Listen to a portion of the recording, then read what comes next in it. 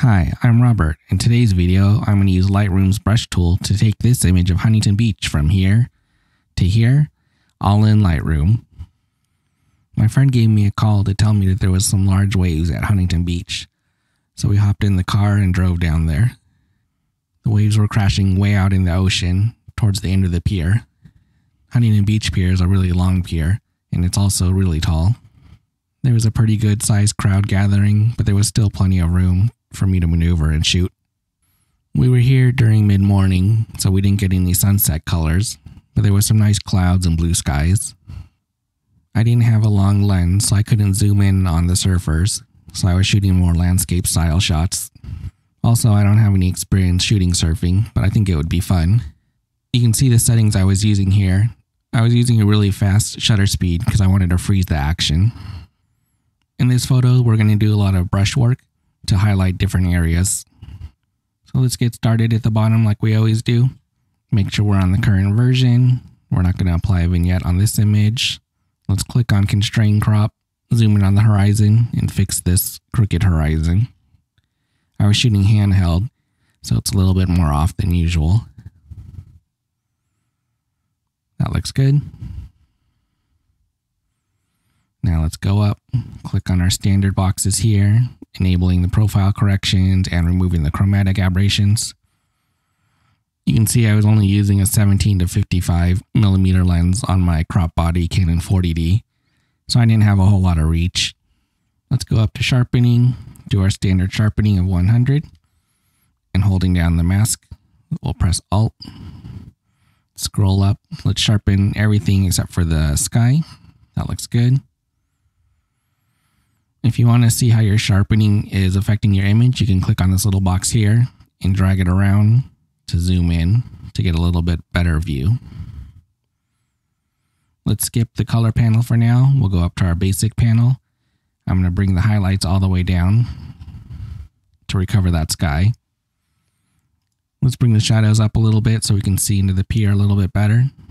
That looks good. I'm looking at the histogram. We can still move right and left a little bit. So let's bring our white slider up till we clip, then back it down. We'll do the same with the black slider. Bring it down, we clip, bring it back up. Now let's go to saturation and bring the blue up.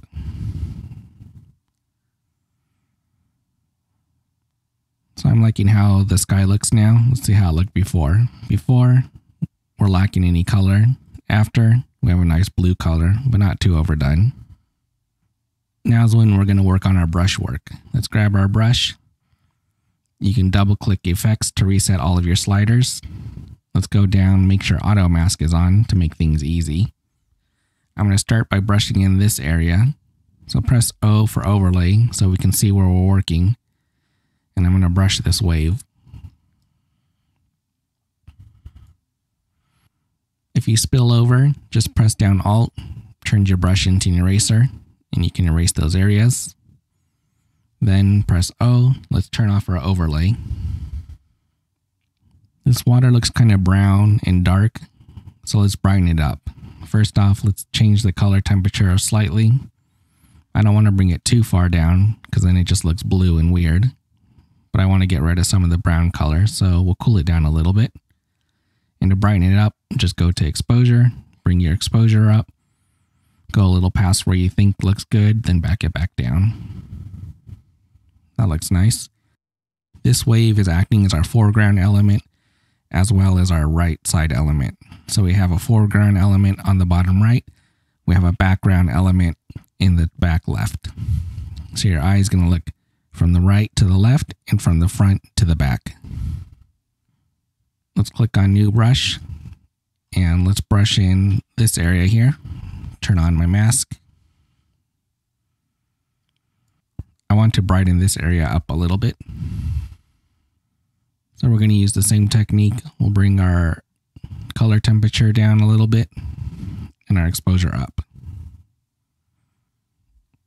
Let's click on a new brush and I'm going to zoom in a little bit on this area here.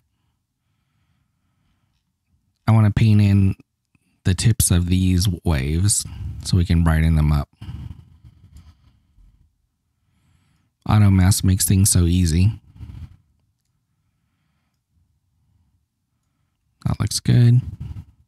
We can erase this little area here. Turn off our mask. This time I'm just going to bring the exposure up a bit. Just to brighten up those waves. That's good. We can go back here, click on fit to get back our full image. So now that we worked on the water, I want to bring out the crowd.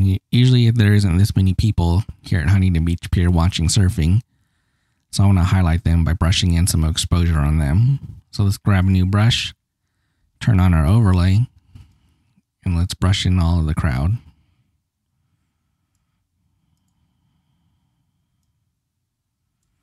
We spilt over onto the pier a little bit, so let's just make our brush into an eraser and take care of that. We don't have to be super precise. And let's go over to exposure and bring it up. This looks a little unnatural, so I'm just going to back it down. That looks good. So we can go down here and turn off all of our brushwork. So here's before. The image looks a little flat, kind of boring. We turn it on, it really punches it up. Adding brightness to certain areas really draws your eye to them. I'm done with my brush, so let's close it.